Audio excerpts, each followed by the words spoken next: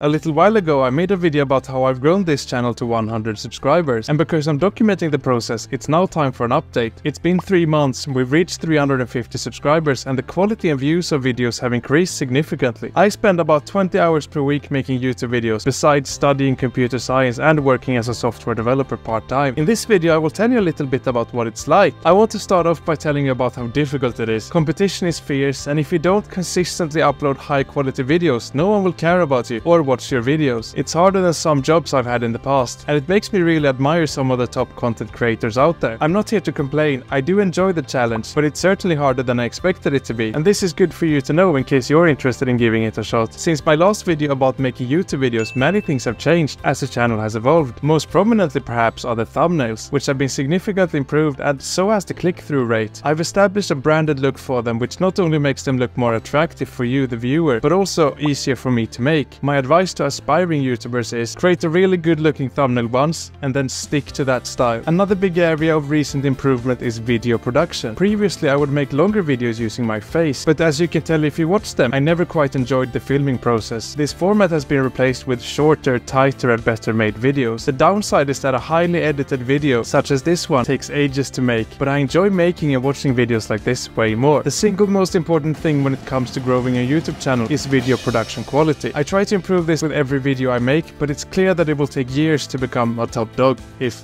ever. I'm still not completely satisfied with the format and will probably keep experimenting until I find something that suits me and you better. So be sure to subscribe so you don't miss wherever this goes. I have been inspecting big YouTubers and one thing that makes them stand out is their ability to speak in a way that sounds nice. So improving my narration skills has been a top priority for a while. As humans, we're more likely to watch people with nice voices and good speaking skills. So besides thumbnails and video production quality, this is probably the most important skill a YouTuber can have. I am by no means an expert at this, but I will now give you the best tip I can possibly give in this area. This is the one thing that significantly improved how I sound in my videos. Speak with a smile. It may feel strange, but it actually works, and I'm smiling as I'm saying this. Once I started doing this, it instantly made my videos sound better, and it also makes it more fun to record, so try it out yourself if you want, but make sure you're by yourself, otherwise it may be a bit weird. Now here's something that's been surprising me recently, the amount of wholesome comments I've been receiving. All of them are very nice and every single one motivates me to keep going. I've never viewed the internet as a particularly nice and friendly place, but the comments I'm receiving certainly are. If you're watching this and you've made a nice comment, thank you very much. There's also the challenge of making time for this. Once university and work is done, I sit down to make YouTube videos. I wish I was able to upload every other day, but sadly, due to life, I miss uploads fairly regularly. Considering the YouTube videos are just a passion project made for fun and doesn't pay, it has to be the last priority. It would be pretty cool to work with this for a living though. My promise to you the viewer is that I will keep making videos for years, consistently improving something each time, and we can together see where it goes. That was a brief update about how the channel is coming along. I'm looking for video ideas, so please put those in the comments. Also, be sure to like and subscribe and watch this video next. Thanks for watching and take care.